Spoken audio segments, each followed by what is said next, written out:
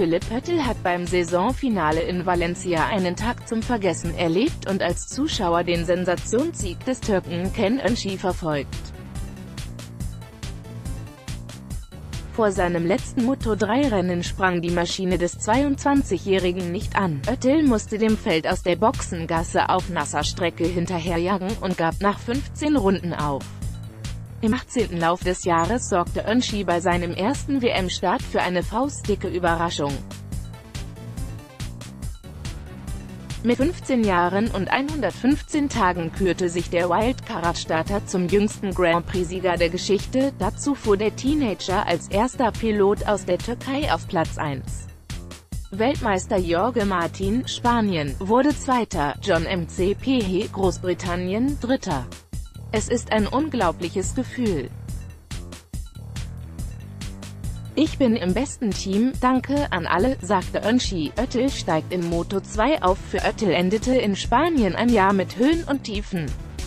Anfang Mai hatte der Oberbayer in Jerez den ersten Sieg seiner Karriere gefeiert, danach ging nicht mehr viel. Nur zweimal schaffte es der einzige Deutsche in der kleinsten Klasse seitdem unter die Top 10. im Gesamtklassement belegte er am Ende Platz 16.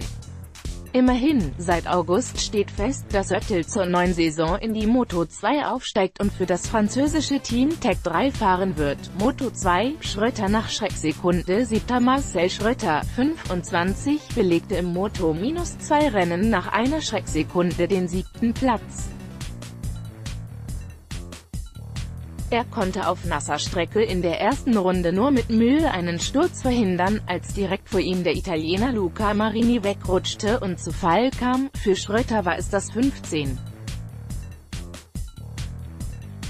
Top-10 Ergebnis aus 18 Rennen.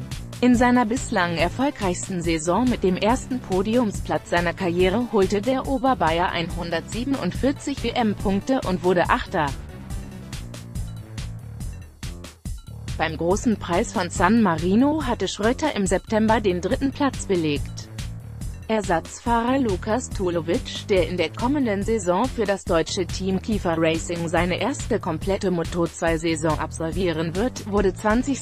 und verpasste erneut die Punkteränge. Für den 18-Jährigen, beim Forward-Rennstall für den angeschlagenen Italiener Stefano Manzi im Einsatz, war es der dritte Start in diesem Jahr. Zuvor war Tulovic 20. und 23. geworden. Der Portugiese Miguel Oliveira gewann den letzten Lauf vor den beiden Spaniern Iker Lecuona und Alex Marquez. Weltmeister Francesco Beccaia, Italien, musste sich mit Rang 14 begnügen. Jetzt die Sport 1 App herunterladen.